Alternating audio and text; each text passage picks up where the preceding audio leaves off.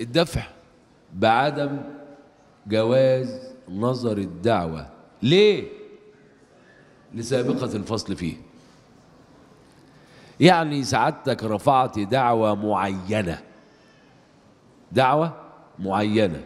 والمحكمة قضت فيها بحكم وصار الحكم نهائي.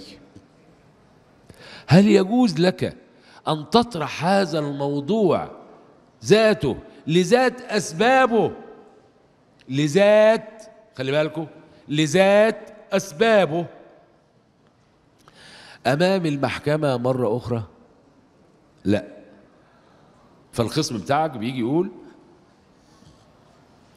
أنا بدفع بعدم جواز نظر الدعوة لسابقة الفصل فيها بحكم نهائي. والمحكمة تستجيب لأنه نص.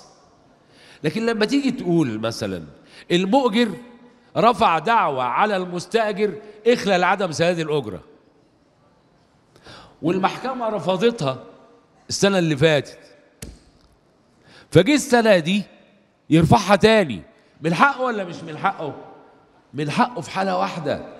إذا كانت المدة المطالب بها مختلفة يبقى ما ما قلناش ذات الأسباب. يبقى ما بقتش ذات الأسباب. مش كده ولا إيه؟ يبقى إذا الدفوع. شكلية وموضوعية. والدفع بعدم القبول.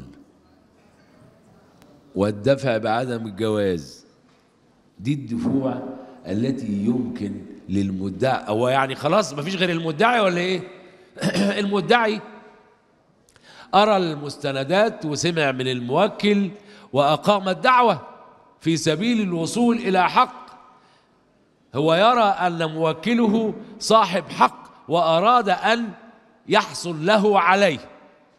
أما المدعى عليه أما المدعى عليه يرى شيء آخر. يرى أن المدعى عليه صاحب حق وأن تلك الدعوة أقيمت عليه. تقتنص منه حق ليس من حق من يطالب به.